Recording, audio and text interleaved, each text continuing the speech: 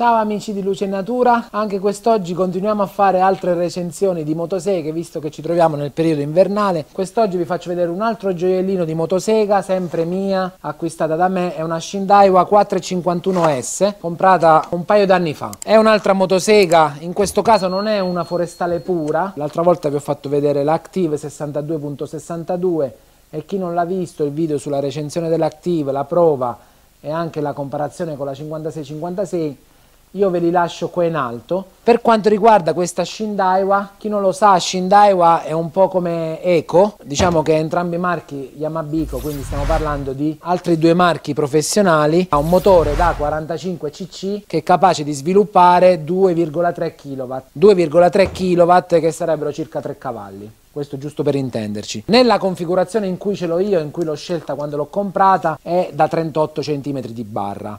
38 di barra perché secondo me per questa motorizzazione 38 cm è l'ideale e monta una catena eh, da 64 maglie a 325 che in questo caso io sono andato a montare una catena in metallo duro quindi carburo di tungsteno e cobalto una catena Nvidia. Questa motosega perché ci voglio fare una recensione anche qui? Perché secondo me se la merita. Non ha la forza di altre motoseghe, però quello che mi piace di questa motosega è intanto diciamo la praticità, la leggerezza non tanto perché è una motosega un po' pesantina anche questa, nel senso che stiamo su 5 kg a secco che poi mettendoci carburante, la miscela, l'olio, la, la, la catena e la barra, anche qui stiamo sui 6 kg. Più o meno diciamo la, il peso è quello che non è tantissimo, è comunque una motosega leggera rispetto alle motoseghe del passato, però non è certo una motosega come quelle da potatura ultra leggere che si vedono oramai in giro. È una motosega che all'occorrenza fa l'abbattimento e all'occorrenza può fare anche la potatura. Ovviamente, quali sono i punti forti di questa motosega che io adoro? È il bocchettone largo, sia per il rabbocco del carburante, della miscela che dell'olio. Il sistema antivibrazioni, anche questo è un sistema su varie molle che smorza tantissimo le vibrazioni. La doppia impugnatura è classica col freno catena davanti. Quello che non adoro è il rampone. Il rampone è un po' piccolino ha tre denti sopra diciamo un accenno sotto. Magari ecco su su altre motoseghe ve lo voglio far vedere un attimo. Guardate ce l'ho qua. Esuliamo un attimo. Voglio solo far vedere la differenza. Se prendiamo un Active 62.62 sono 5 denti. Quindi un bel rampone.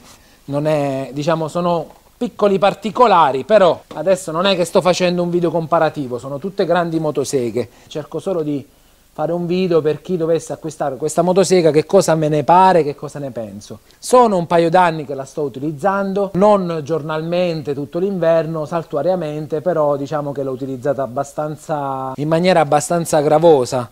Allora, è una motosega essenzialmente un po' pesantina per uno che non è un professionista, però allo stesso tempo abbastanza equilibrata.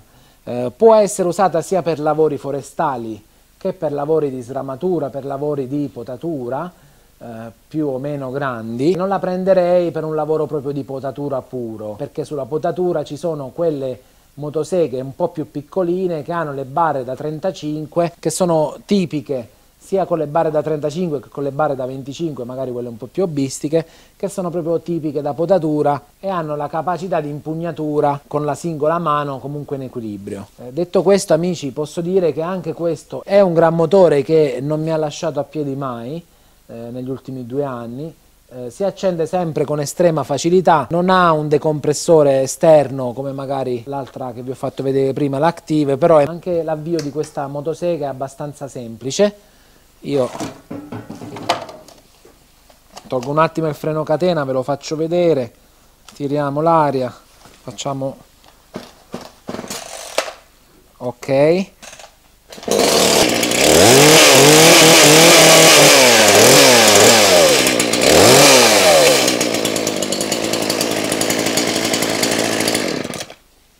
Vedete anche questo è un bel motore, una bella catena, una bella motosega. Se qualcuno sta pensando a una Shindaiwa 451S come questa, 452, eh, posso dire che è una bella motosega.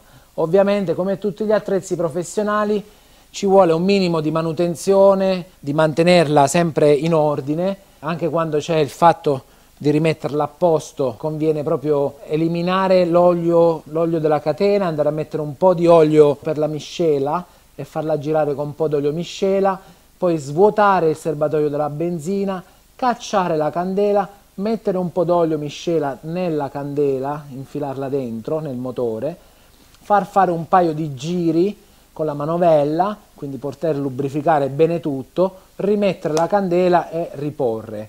Diciamo quindi con serbatoio vuoto, sia miscela che olio se, e con eh, il motore bello lubrificato.